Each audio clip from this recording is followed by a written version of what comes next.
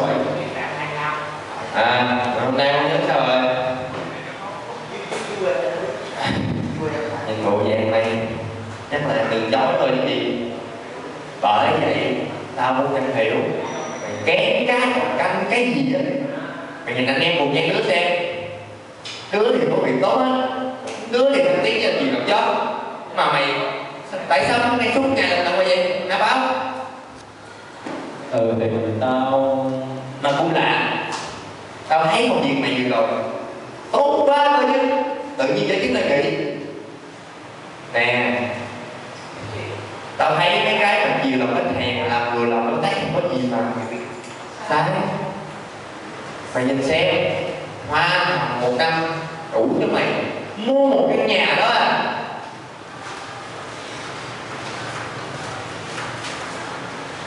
Nhưng cái số tiền hoa nhưng cái số tiền hoa hồng đó nó không phải của tao đấy nè. Làm sao mà chấp nhận chứ? Ồ thằng lẽ là hoa hồng à? Thằng lẽ là hối lộ mà sao mày lo quá? Không làm điều gì thiệt hại đến lợi ích người khác là được. Người ta có đem chọc cái em ăn của mày đâu. Họ đã báo mày khờ làm như vậy mày bỏ biết bao nhiêu cơ hội để thăng tiến đó ai mà chẳng muốn được người khác công nhận. Được kính nể nhưng tao thấy cái giá trị của mình nó đâu có chỉ nằm trong những chiếc công tác những chiếc xe sang trọng những chiếc điện thoại đắt tiền đôi tí thằng tiên kiểu đất mất cái đốt nhân đó. Tao không ham nó nè. Mày lại thiên nghi nữa. Đừng lấy xíu gì để sống coi hả? Đấy sao mày hay rõ nhanh quá vậy? À thì dạo này đi làm hết tội với mày. Không lấy suốt ngày tao cứ xem biết cái điện thoại của bác mà nhưng những cái đó nó không có quan trọng. Quan trọng là cách sống của mày kìa. Nó cũng còn, chẳng còn như trước nữa tí nào. Không lẽ suốt ngày các kinh thánh nhà thờ anh kia cầu nguyện hàng tuần là tao sao? Mà thôi, tao không có kể lý với mày. Tao thấy mày là người ấy hẳn để chân thực. Chẳng có công ty sẵn sàng chạy không nổi cho mày. Cái ngành của mày giao cũng là được sao mày cứ băn khoăn mày à nhưng mày phải biết là mình không có được làm như vậy ủa mà mày có cứ cổ thì cái nó đâu vì sao là hai bên thì có lợi là được có gì mà sai. Lại chính xác thì tao nhận phải băn khoăn làm gì? Còn lần này thì tao không cần biết nhưng mày xem lại đi mày có bằng hay không? Tao thì sao? Người ta đâu có trân trọng cái tài cán của mày. Xem mày là một đứa thất nghiệp. Cái bằng cấp của mày nó trân trọng mấy lớp bụi luôn kìa. Ơi đậu quá. Mày mệt thì ngủ sớm đi. Tao về. Mày mà có thay đổi gì suy nghĩ gì thì mày gọi điện alo tao tao sẵn sàng giúp đỡ mày bằng một cách? Đi lên mày lên mày luôn một cái sao con mai hiểu đến vậy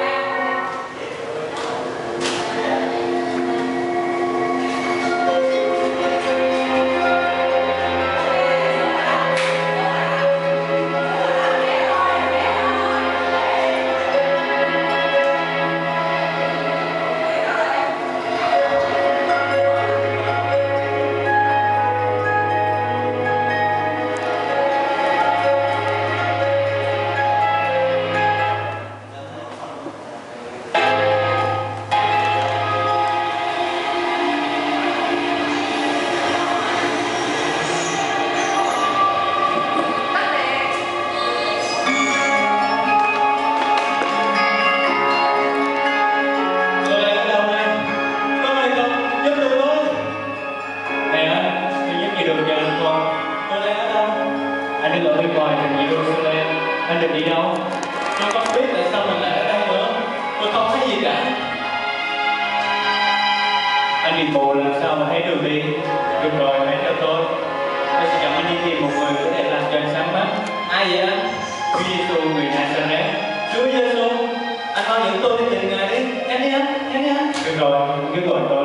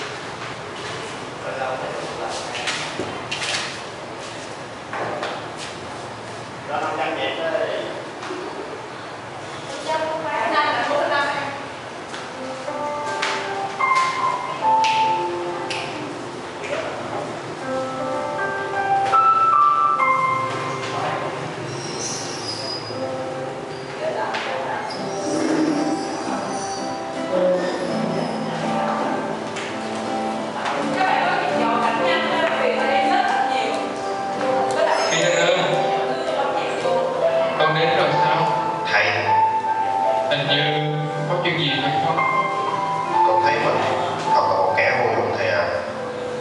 Sao con lại nghĩ như vậy? Sao thầy lại chọn con? Một kẻ đánh cá thấp hèn để làm môn đồ thầy Con chỉ biết nghề chạy cá. Với bản tính con nóng nảy Con chẳng làm được gì. Chỉ làm ảnh hưởng đến danh tiếng của thầy mà thôi. Peter, ta có quyền dùng những điều thế gian cho là thấp hèn hay là hổ thẹn kẻ kiêu ngạo tự cho mình là công ngoan. Ta đã chọn con thì con xứng đáng với những người khác. Nhưng ta biết con ta nhìn thấy tấm lòng của con. Thầy hãy cứ ở trong ta để con sẽ rất nhiều quả đức trời.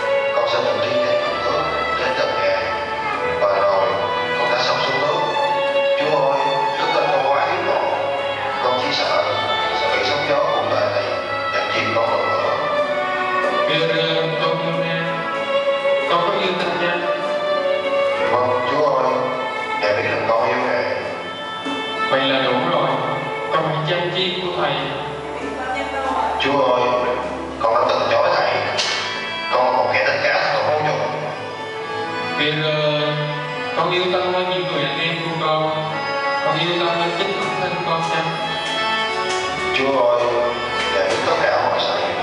Ngài biết rằng con yêu ngài. Vậy thì con hãy trang bày chi với thầy nhưng con còn xứng đáng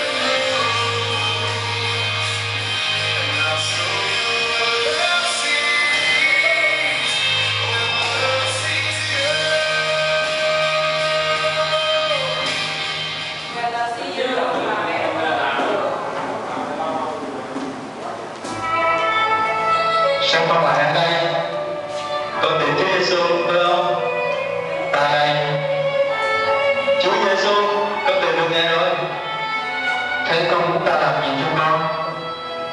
Ôi Chúa Giêsu, con muốn được sáng mắt. Con ơi, hãy sáng mắt.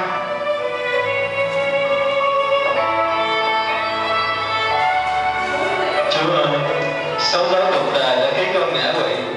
Con không còn nhìn thấy tương lai nữa Chúa ơi. Ta đang ở với con.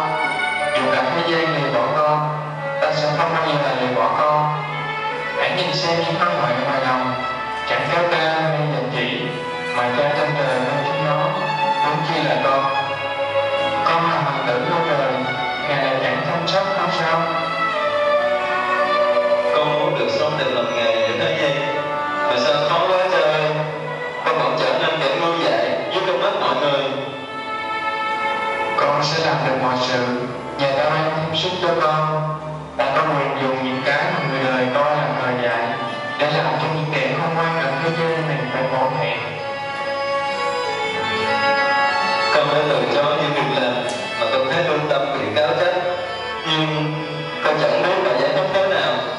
ta trong những việc làm đó là vô hại.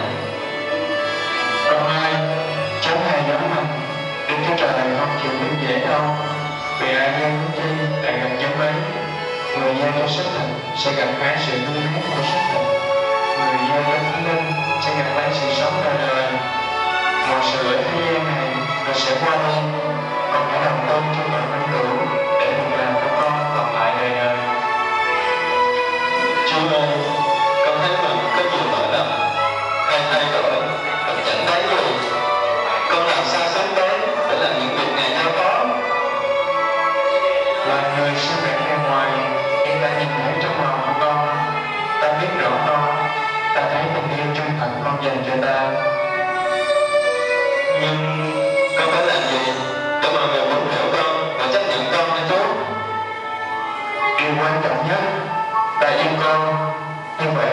Không chưa con sao? Vâng con hiểu rồi nghe yêu